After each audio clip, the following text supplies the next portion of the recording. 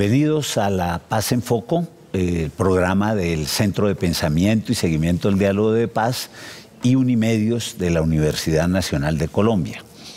Eh, este programa es un programa que hace pedagogía de paz eh, y toca temas relevantes y mucho más ahora cuando estamos ya mm, muy cerca de la terminación de eh, los acuerdos en La Habana. Hoy día mm, vamos a grabar un programa sobre un tema que no es tan conocido eh, y que sin duda es muy importante, que es el tema de la utilización en medio de la confrontación armada entre las Fuerzas Armadas y las insurgencias eh, eh, del uso de minas antipersonales, eh, pero también el tema de municiones sin explotar que el conflicto viene dejando en los territorios. Esto tiene una implicación muy grave en términos de afectación a la población civil, pero también a las fuerzas combatientes. De hecho, mm, las cifras al respecto son realmente muy preocupantes y por ello, mm, digamos, es un tema de prioridad. Para ello, vamos a, trabajar este tema hoy con tres colegas de la mayor eh, importancia por el conocimiento que tienen del tema. Hoy nos acompañan Oscar eh, Waldrón, eh, director de Fomento de la Investigación de Conciencias, muchas gracias. El profesor Diego Torres, jefe de extensión de la sede Bogotá de la universidad, y el profesor Francisco Román, ingeniero eléctrico, profesor titular de la Universidad Nacional. Son tres personas que conocen muy bien estos temas técnicos del el desminado. Eh, una primera pregunta que yo le haría, eh, profesor eh, es ¿qué es el desminado humanitario? Bueno, yo creo que como usted lo ha planteado, eh, profesor Vargas, y aprovecho para agradecerle la invitación a este espacio tan importante, eh, es de la mayor relevancia abordar esta problemática hoy día eh, por el momento histórico que atravesamos. Y, y pareciera, digamos, a la luz de lo que el ciudadano común y corriente entiende sobre encontrar una mina en un territorio que fuera un simple proceso de, extracción o de remover un artefacto que se encuentra allí tirado. Pero, pero, hay una cantidad de implicaciones y de elementos que hay que tener en cuenta del contexto, del entorno, del ambiente, de la comunidad eh, que está alrededor de todos esos territorios para entender el proceso de desminado como una manera de recuperar y poder aprovechar de manera segura, integral y sostenible esos territorios. Entonces creo que el momento que atravesamos nos obliga a abordar ese, ese tema y esa problemática de una manera muy completa, como lo decía, y con la contribución de diferentes miradas y de disciplinas que nos permitan realmente eh, volver esos territorios que hoy día de alguna manera están vedados en, en nuevos espacios eh, donde la soberanía colombiana, donde la comunidad hace presencia de manera, como insisto, segura, que pueda aprovechar el terreno, que pueda aprovechar la biodiversidad y que no tiene temores sobre su integridad eh, por permanecer en ellos. Eh, profesor Diego, ¿cuál es la problemática que ese hecho de minar los territorios genera en la sociedad colombiana? El principal es el miedo es decir, el, no poder movilizarse por un terreno en el cual las personas viven y conviven, el tener zonas vedadas, el saber que no hay la posibilidad de movilización libre en terrenos que transitan las personas. El, el, problema de la mina antipersonal es que no discrimina entre quien la planta, el combatiente, el civil, y cuando pasa el tiempo la mina queda y así la guerra aparentemente se haya ido, es un factor que hace que la guerra continúe y trascienda más allá de la firma de, oiga, vamos a firmar usted y yo como actores y vamos a dejar este conflicto. La verdad de hecho es que el conflicto va a seguir y el conflicto sigue por una instancia que es el miedo presente, omnipresente, de no poder movilizarse. El miedo es la base, porque la mina fue hecha para generar miedo y es un miedo que está atado a un territorio, que es lo más importante, la, como decía el profesor Waldron, el poder utilizar espacios que antiguamente no se utilizaban. Esto va a seguir, ¿por qué? Porque la mina sigue ahí. Eh, profesor eh, Román, eh, ¿qué retos científicos y tecnológicos implica desminar en medio de, del conflicto, ya cuando está terminando en este caso? Bueno, una, muchísimas gracias primero, profesor, por la invitación y pues eh, encontrarme en compañía de estos profesores es eh, un gran honor. Eh, pues yo quiero comentarle que los retos son muy, muy grandes porque las minas son, utilizan mecanismos diferentes de activación. Por ejemplo, hay mecanismos de activación química y activación eléctrica. Entonces, los de activación química son muy difíciles de detectar y muy difíciles de destruir. Dependen muchísimo de la vida de esos productos químicos para su destrucción total.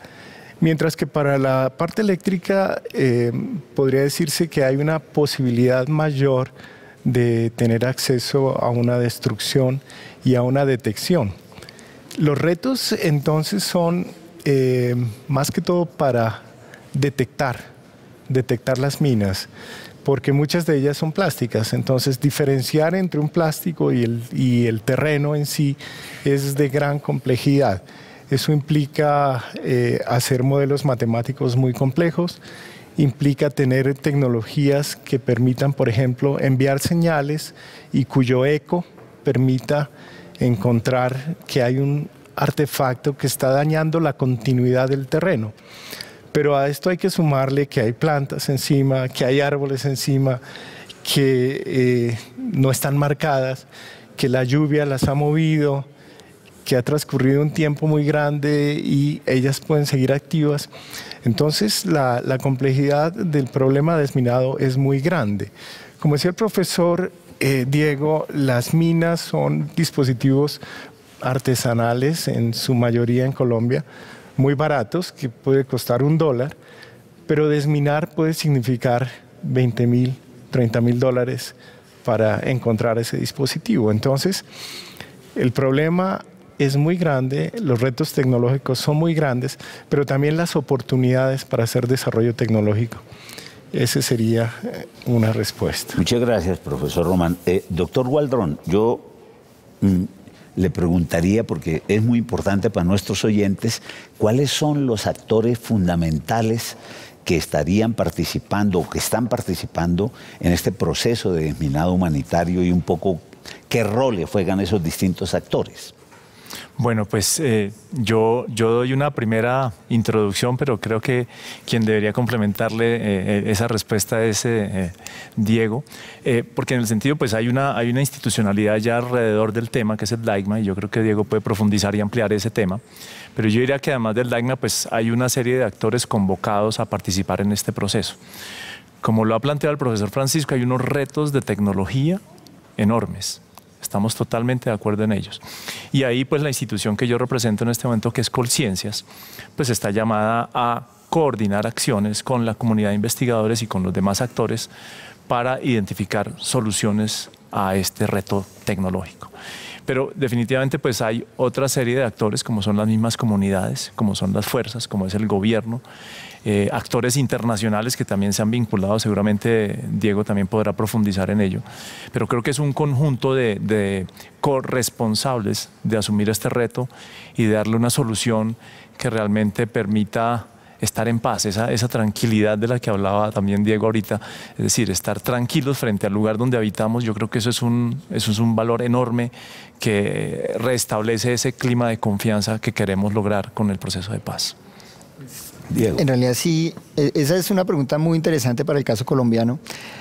Lo primero que hay que decir es que Colombia tiene un ente que busca centralizar todos los esfuerzos en pro del desminado humanitario. Se llama la Dirección de Acción Integral contra Minas Antipersonal. Eh, esta hace parte en ese momento del, Ministerio del Postconflicto eh, y esa articulación es una articulación muy compleja para el caso colombiano. Lo que decía Oscar, exactamente hay una parte científica y tecnológica, hay otra parte que también son las comunidades que son las que están directamente afectadas, que saben dónde están las minas, pero hay otra parte internacional que son los operadores de desminado. En este momento hay dos actores que están haciendo desminado humanitario en Colombia. Una parte civil que está representada por operadores externos y ya hay un operador colombiano, que son grupos especializados en hacer desminado Está otra parte militar que, están, que han desarrollado técnicas, pero para el desminado militar, que tienen otras connotaciones, porque ese desminado militar se hace en la mitad de un conflicto que ya se está acabando. Entonces ellos van a entrar a jugar una parte muy importante que es cómo adaptar, sus técnicas a este desminado, que es el desminado para la liberación y entrega de territorios. Hay otra parte muy importante que es la comunidad internacional que está aportando recursos eh, a estos grupos de desminado civiles internacionales. Tenemos instituciones como por ejemplo Halo, es una de ellas, otra que se llama la, Danish The Mining Group, por, no, por solo mencionar algunos, y ya hay actores nacionales. Eh, eh, ¿Qué es lo que debería pasar con todos estos actores que deberían trabajar de manera conjunta? La academia, hay, hay un actor que, que, vale la pena que la ciudadanía sepa es que la academia lleva más de 10 años trabajando en este tema. El grupo del profesor Román es uno de los ejemplos que siempre muestro donde, donde tenemos este tipo de conversaciones. El grupo del profesor Román ha movido recursos por encima de los 2 millones de dólares con entes privados colombianos. Entonces resulta que ahora hay un actor que, es, que tiene responsabilidad social y que debería integrarse vía los esfuerzos de conciencias. ¿Cómo? Haciendo que estos grupos extranjeros o nacionales que trabajan en el desminado le planteen retos a la sociedad y a, la, a los actores técnicos, a las universidades, a los grupos de investigación y que permitan manejar recursos vía conciencias. Este es un proceso muy complejo. Yo aprovecho para dar el agradecimiento no solamente al profesor por la invitación, sino también a todos los actores que están haciendo cosas. Colciencias acaba de sacar una convocatoria de retos específicamente para financiar proyectos en pro del desminado humanitario. O sea, esa es una apuesta grande y seria de conciencias.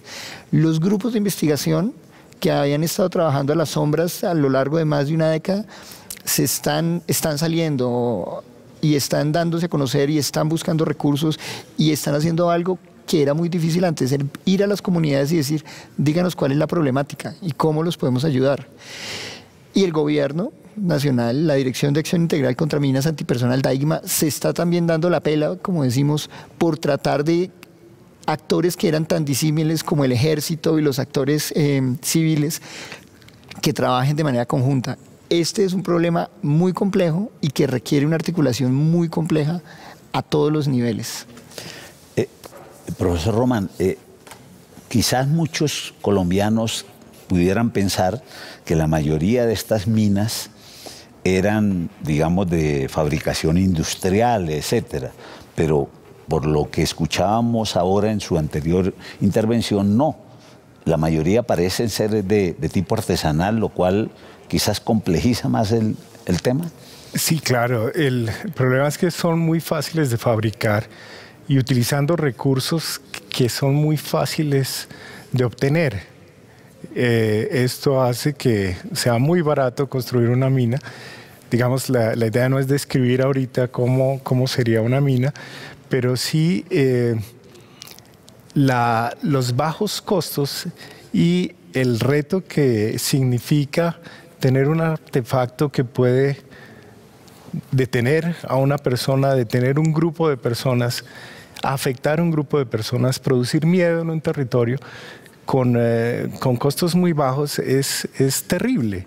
Esa es una de las cosas que más duele, que en un país como este, donde hay mucha creatividad, mucha genialidad, digamos, en, el pueblo, en, eh, muchas personas con eh, capacidades de desarrollar ideas interesantes, se vayan a perder esas ideas generando dispositivos para destruir la vida.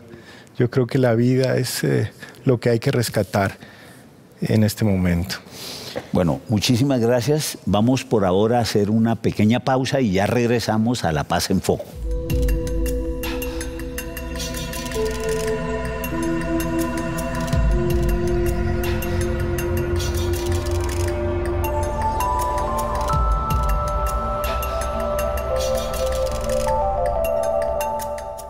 Bienvenidas y bienvenidos nuevamente a La Paz en Foco. Mm, hoy estamos eh, hablando con nuestros invitados sobre el tema del desminado humanitario. Eh, y antes de continuar, los invitamos a ver una nota de contexto sobre lo que ha sido ya este tema en Colombia, que no, es, no estamos en el punto cero, sino que ya hemos avanzado.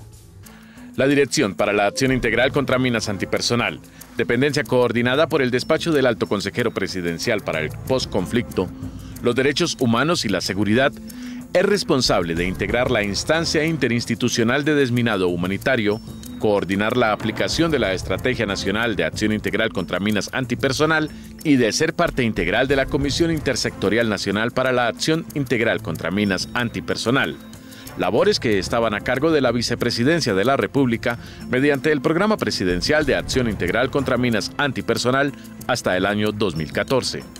Estas dependencias surgen tras la firma de un tratado internacional en 1997 con el que Colombia inició el proceso de desminado, conocido como la Convención de Ottawa, acuerdo sobre la prohibición del empleo, almacenamiento, producción y transferencia de minas antipersonal y sobre su destrucción. Según este, el país debía estar desminado en 2011, pero las condiciones propias de las regiones hicieron que el gobierno pidiera una ampliación del plazo a 2021. Como acabamos de ver en la nota de contexto, evidentemente hay ya una serie no solo de compromisos internacionales de Colombia, la conocida Convención de Ottawa sobre el tema eh, y lo que se ha venido desarrollando. Eh, pero hoy día es muy importante que veamos lo que es el plan de acción de desminado humanitario para este periodo, es decir, para el periodo 2014-2016. Eh, partiendo de algo que es muy importante y es que el número de municipios afectados con este problema de minas es, mm, según las informaciones de cerca de 668 unidades territoriales. Recordemos, Colombia tiene 1.100 municipios, luego estamos hablando de un nivel altísimo. Eh, profesor Diego Torres, eh, ¿qué podemos decirle a nuestros eh, teleaudientes sobre este tema del plan del desminado humanitario? Bueno, hay un plan estratégico que tiene una fecha clara para tratar de poner a Colombia como un territorio libre de minas. Esa fecha es el 2021.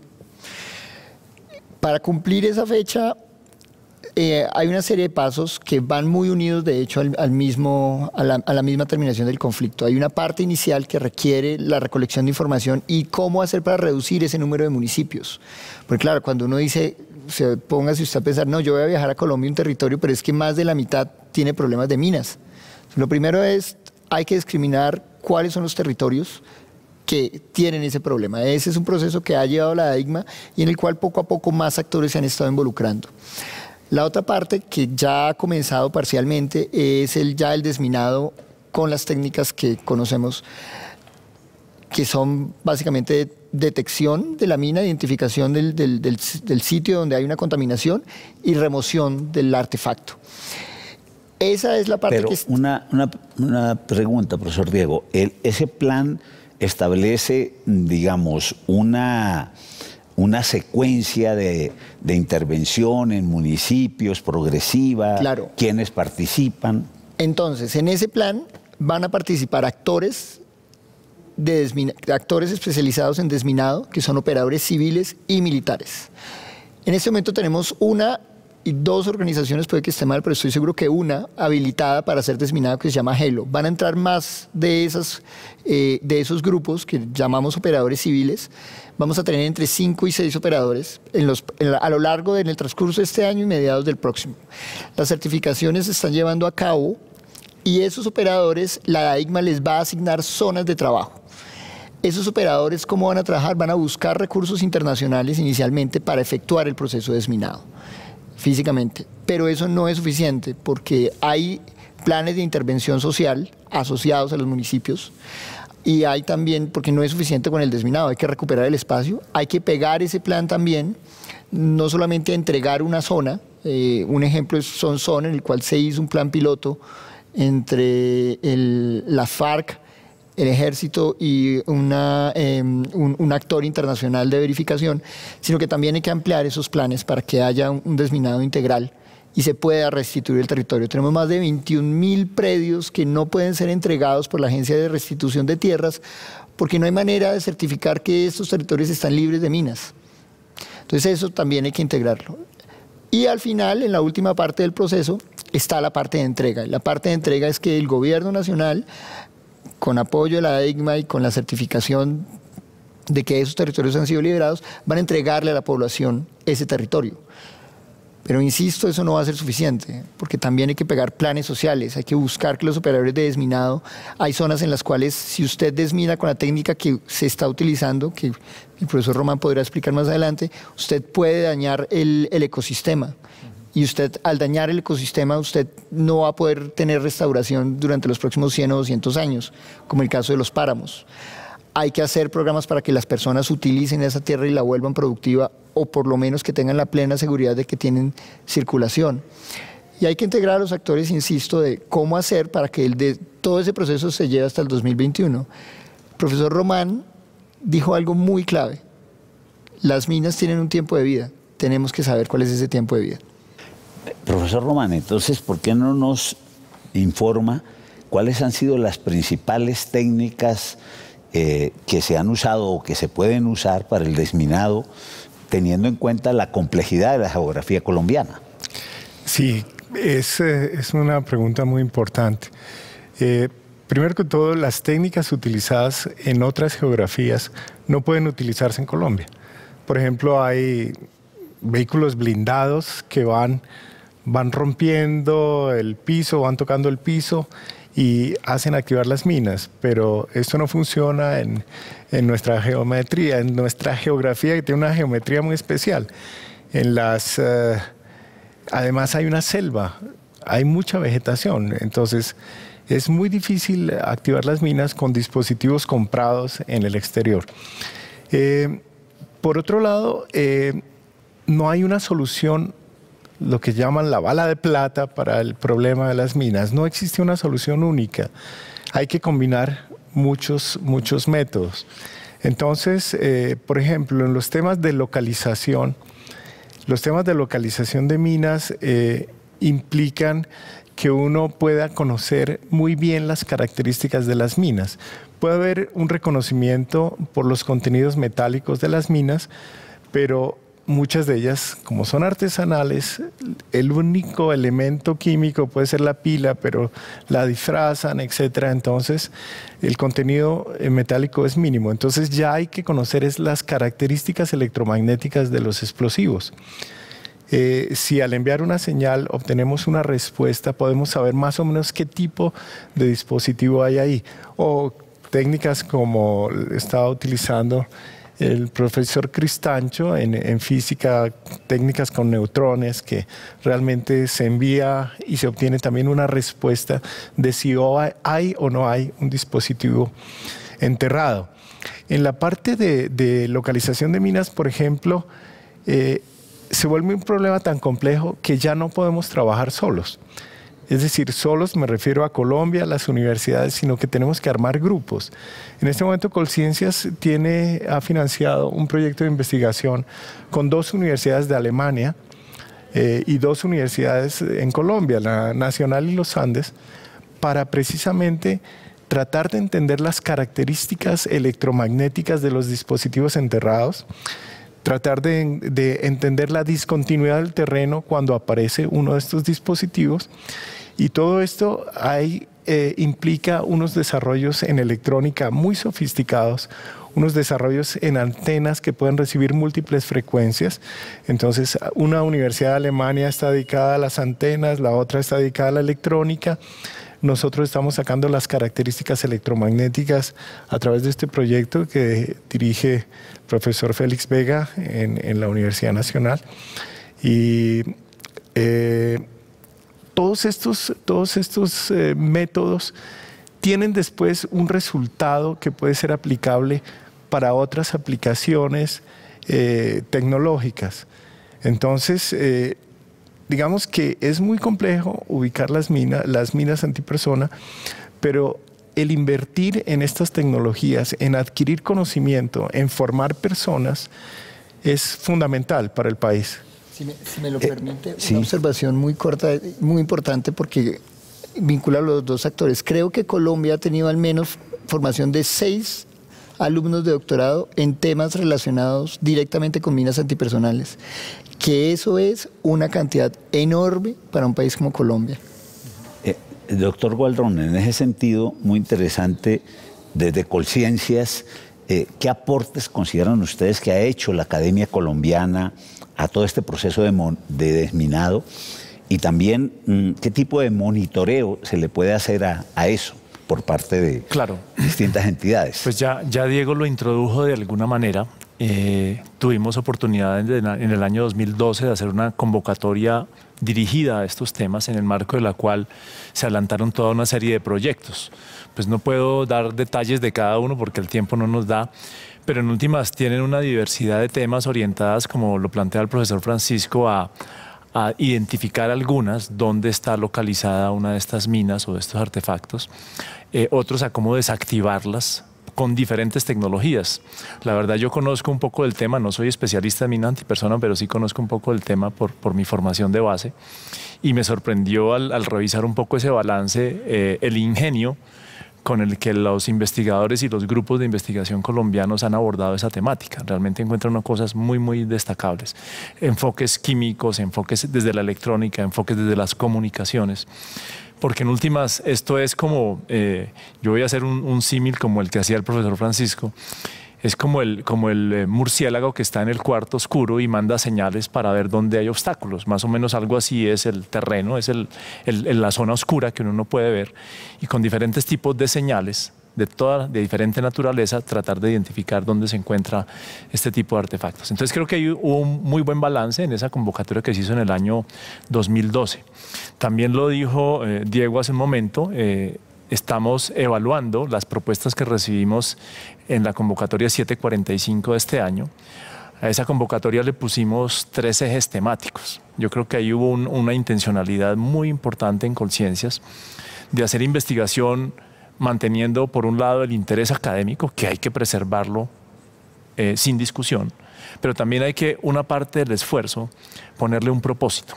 Y esta convocatoria 745 marcó esa, esa, esa dirección. Es, tiene tres ejes de interés, uno de los cuales es construcción de paz. Tenemos otros dos que llamamos eh, agregación de valor a recursos renovables y no renovables. Y un tercero que llamamos crecimiento verde.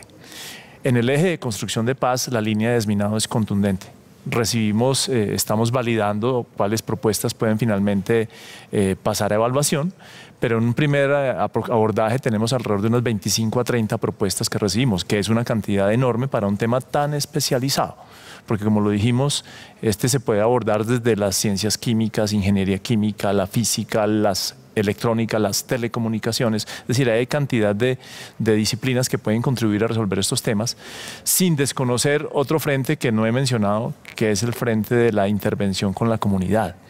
Y ahí también el llamado es a nuestros grupos y a nuestras capacidades de investigación en ciencias sociales, en ciencias humanas, a que, a que abordemos de manera conjunta este tipo de, situaciones, porque sin ello el tipo de solución que se genere puede que finalmente su aplicabilidad no sea tan realista y el esfuerzo entonces sería, sería complejo.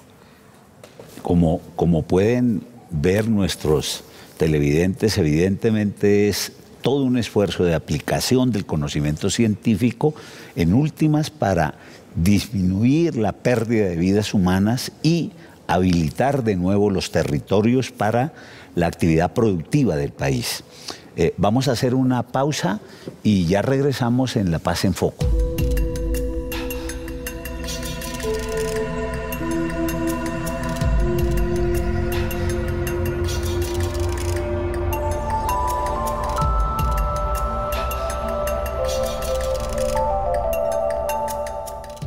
Retornamos a La Paz en Foco con nuestros invitados eh, para hablar hoy del el tema del desminado como uno de los retos fundamentales que tenemos como eh, tarea del posacuerdo. Mm, antes de continuar, los invitamos a que veamos una nota de contexto sobre técnicas y fases del proceso de desminado que se han preparado con el aporte de nuestros invitados. Según los acuerdos firmados en La Habana el pasado 23 de junio, las FARC-EP contribuirán con la limpieza y descontaminación de los territorios afectados por minas antipersonal, artefactos explosivos improvisados y municiones sin explotar o restos explosivos de guerra. Para desactivar una mina antipersonal enterrada, se puede proceder de forma manual o mecánica. La primera requiere de un desminador que localiza y deja al descubierto una mina o munición sin estallar para que luego ésta sea destruida o neutralizada por personal experto. La segunda técnica requiere de equipos barreminas tripulados o controlados remotamente que realizan la destrucción de las minas, de acuerdo con los estándares nacionales e internacionales. Cualquiera de estas técnicas emplea tres fases de desarrollo.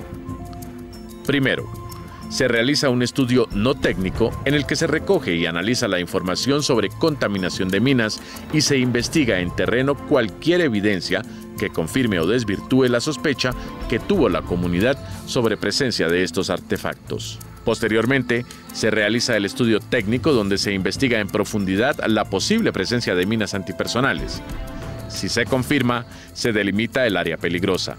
Finalmente, se inicia la fase de despeje en la que se adelantan tareas o acciones para remover y o destruir todos los peligros de minas y restos explosivos de guerra.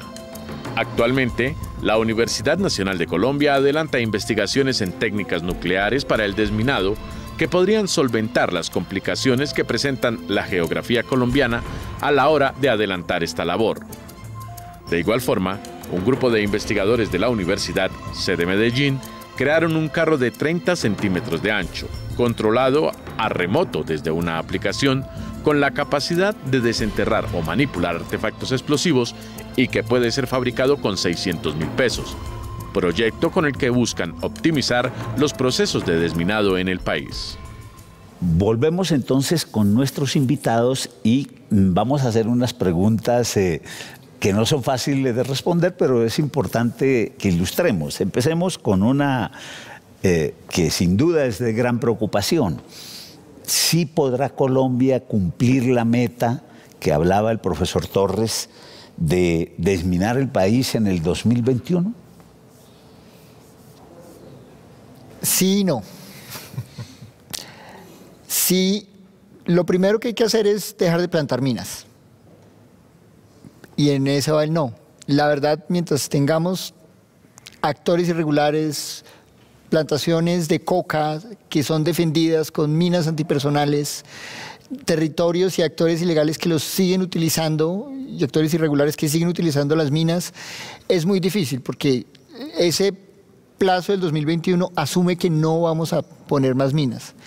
Si no pusiéramos más minas, y si utilizamos de verdad convenientemente no solamente las técnicas actuales, sino las potenciamos, uniendo grupos de investigación para atacar problemas y preguntas como cuál es el tiempo de duración de una mina, cuáles son los mejores mecanismos para detectarlas, sí podríamos cumplirlos, pero hay que hacer un compromiso serio de no plantar más minas.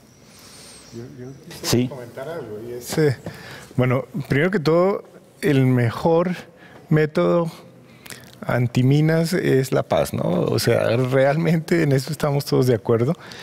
Y segundo, eh, cuando usted hacía la pregunta de duración de las minas, de cómo se construyen, si eran industriales o no, muchas de las minas en Colombia son artesanales y pues tiene la ventaja para ellos de que es barato construirlas, pero la desventaja es su envejecimiento. Hay un proceso natural de envejecimiento de los explosivos, de las pilas, etc. Entonces, eh, si la paz viene y si tenemos una frontera de tiempo, eh, yo creo que muchas de las minas podrían quedar desactivadas por sí mismas. Eh, se volverían nitrógeno, ayudarían a crecer las plantas, etcétera.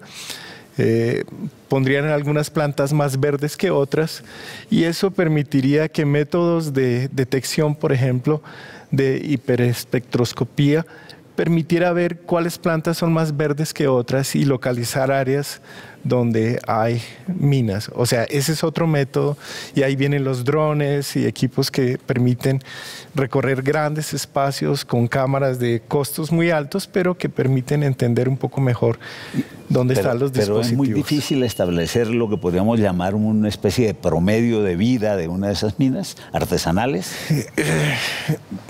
Pues eh, están eléctricas y químicas. Yo pensaría que las eléctricas pueden estar allá en el orden de cinco años. El 21 sería la paz. Esperemos que, que, muchas de ellas se hayan desactivado por sí mismas.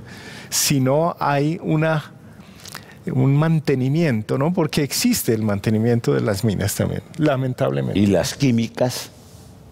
Ay, si no me atrevo, no conozco el tema, no sabría, pero pueden ser muchos años. Eh, doctor Gualdrón, ¿podríamos estimar cuánto le cuesta a Colombia el desminado? Yo más que eh, responderle directamente, profesor Alejo, a, a esa pregunta, eh, trataría de, de, replantear el tema. Porque Francisco y Diego lo han dicho ya, es decir, hay unas técnicas ya medianamente establecidas a nivel internacional que por un lado tienen unos costos inviables para el reto que tenemos y por otra parte no se adaptan bien al contexto local nuestro, sea geográficamente o sea ambientalmente. O tercero, tienen unos impactos destructivos o de, o de, no preservación de ambiente, biodiversidad, entorno, que no podemos asumir. Entonces yo diría que, que si uno hiciera las cifras entre el, el, los territorios y el balance de, de, del área de territorios que está afectado por estas minas a hoy, contra el costo que, que, que representa eh, desminar cada una de esas unidades, yo creo que esa factura eh, difícilmente la cubrimos. Entonces, ahí voy con el, el, planteamiento y es el reto que tenemos es cómo, uh, lo sugirió el profesor Francisco, a la luz de alianzas con experiencias que ya existen, adaptamos, mejoramos o creamos nuevas tecnologías que nos permitan hacerlo de una manera limpia, adecuada, sostenible, pero segundo, más eficiente para tener la capacidad de hacer ese abordaje como debe ser.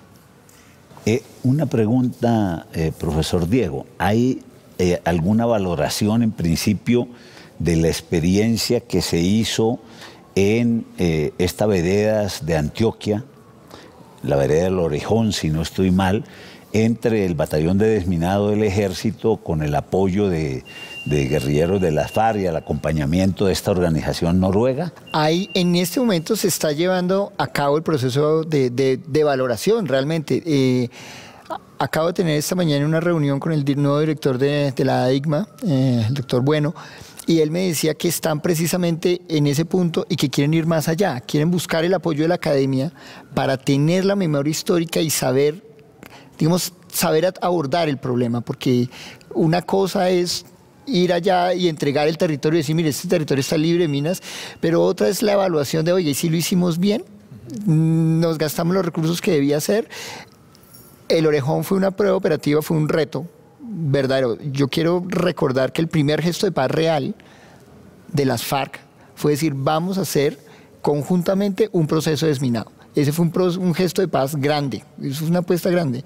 Y tuvimos una víctima desafortunada durante ese proceso están en evaluación. Yo soy, yo soy muy optimista en el sentido de que el solo hecho de haber logrado entregar un territorio es un avance enorme. Podemos optimizar el proceso seguramente, pero comenzarlo y ya ver, tener, tener un resultado es algo supremamente valioso. Eh, profesor. No, no, sé, yo puedo dar una cifra que puede ser interesante. Eh, el otro día miraba los japoneses para desarrollar un equipo detector de, de metales, eh, invertían cinco años, más o menos 8 millones de dólares. Eh, nosotros estuvimos trabajando, formamos seis doctores, eh, trabajamos con un cuarto de ese capital y más o menos en cuatro años y logramos avanzar muchísimo el conocimiento. O sea, las posibilidades de, de desarrollo de tecnologías nuevas hechas por eh, profesionales en Colombia, uniendo universidades, puede producir frutos muy rápido, con una cantidad aceptable proyectos que pueden costar entre 2 y 4 y 6 millones de dólares. O sea, hay que hablar en cifras realmente importantes, hay que hablar en millones de dólares y se pueden escoger algunos proyectos. Eh, invertir ese dinero yo creo que tendríamos un gran aporte para el país. Una, una pregunta que, que creo que para los televidentes es muy importante es qué pasa en esos territorios una vez se hace el proceso de desminado. ¿Ya están habilitados para, para la agricultura, para esa o, qué pasa? Eso es, depende tanto del territorio. Este es un proceso que está comenzando. Hay que, hay que ser claros, es decir, por primera vez a la comunidad se le está entregando una serie de territorios. ¿Qué pasa? En principio hay lo que hemos visto con una, una primera mirada es que sí hay interés de la comunidad por usar el territorio. ¿Para qué? Para cultivos. ¿Cuál es el, gran problema que se tiene? Es que em, no es suficiente con cultivar, hay que hacer que ese producto sea viable, económicamente rentable y no que vuelvan, digo, bueno, tenemos liberado este territorio, vamos a plantar, por ejemplo, coca, que va a volver a traer el problema. ¿Qué pasa? En este momento debo reconocer que para mí no es claro qué es lo que pasa, porque todavía, como en ciencia y tecnología, hay cierta desarticulación con respecto a que ya termina el proceso y qué pasa después. Eso tiene, el gobierno sí ah, tiene que echarse el bulto al hombre y decir, no es suficiente con desminar, tiene que pasar algo. Pero ahí viene una, una preocupación que seguramente muchos se, se, plantearán. Bueno, ¿y qué tanto se, se altera el medio ambiente con el propio proceso de, desminado, ¿cierto? Claro que sí. Pues yo creo que ya también el profesor Francisco lo introdujo, es eh, las dos tipos de, técnicas, ¿no? Hay unas técnicas que básicamente eh, la, activación de, la mina se da por eh, la presencia o el pisado o la, o la presión, digamos, sobre el mismo, entre otros mecanismos. Y entonces algunas de las técnicas, eh, hasta donde yo, digamos, comprendo, es eh, básicamente eh, impactar el, terreno, volcarlo, de manera que ya o el mecanismo se activa o simplemente se tiene evidencia de que ahí no hay nada debajo que pueda correr riesgo la población. Entonces, ese tipo de, de, posibilidades, más otras de desactivación química, por ejemplo, irrigando con cierto tipo de sustancias, pues definitivamente tienen unos impactos muy fuertes sobre el posible futuro aprovechamiento del territorio, sobre la preservación de la vegetación y las especies que se encontraban allí en ese territorio. De manera que ese es el tipo de, procedimientos o de técnicas que uno quisiera evitar y desarrollar unas técnicas no tan invasivas, no tan destructivas, que le permitieran no, pagar ese precio tan alto. Profesor Francisco, quisiera... Sí, mi, mi, comentario es que realmente el problema es tan complejo que se requieren especialistas de todas las áreas. Pensemos desde psicólogos que piensen cómo fue plantada la, fueron plantadas las minas, matemáticos, físicos, ingenieros y especialmente biólogos. Por eso está Parques Nacionales trabajando de la mano del DAICMA para ver cómo preservar esos bosques. Eh, sería imposible destruir la capa vegetal para ubicar dos o tres minas cada, cada 50 metros, etc. Eso no es viable. Entonces, de ahí viene la, la parte de desarrollo local, la parte del, conocimiento local, yo pienso que uno de los, de los eh, factores de desminado más importantes va a ser la misma persona, el mismo campesino que conoce el terreno, que puede saber, mire, aquí removieron algo, aquí hubo algo. Además, la gente sabe muy bien por dónde se estaban moviendo eh, las fuerzas en conflicto. Entonces, eh, yo pienso que hay que contar muchísimo con, con la, gente local que colabore en el desminado y que alrededor de eso construyan una comunidad más fuerte que defienda al país, que quiera la tierra, que evite que vengan fuerzas externas a apropiarse de todas las posibilidades del territorio colombiano. Eso creo que es muy importante la, la, participación de la sociedad local allí en resolver el tema y, en conservar su territorio, sin duda. Exactamente, sí. Bueno, como hemos visto, eh, con esta introducción, porque no es otra cosa, pero que nos ilustra de manera muy importante de la complejidad, pero también de la importancia del tema del desminado humanitario como uno de los efectos que el conflicto armado tuvo sobre y tiene sobre la sociedad colombiana, que no solamente son todos los miles de personas que fueron o, eh, mutiladas o que perdieron su vida, sino también todos los daños en el, en el medio ambiente, pero también el desafío que eso genera eh, para la academia, para distintos eh, actores de la vida nacional, de cómo recuperamos eso y volvemos a tener un territorio utilizable por los colombianos. Eh, les agradezco mucho al doctor Gualdrón de Conciencias, al doctor Diego de la extensión de la sede y al profesor Francisco Román esa importante ilustración que han hecho para nuestros televidentes y esperamos que nos acompañen en una próxima emisión de La Paz en Foco, el programa del Centro de Pensamiento y Seguimiento, el Diálogo de Paz y Unimedios de la Universidad Nacional. Hoy hemos grabado este programa en la Biblioteca Central de la Universidad Nacional de Colombia, sede Bogotá.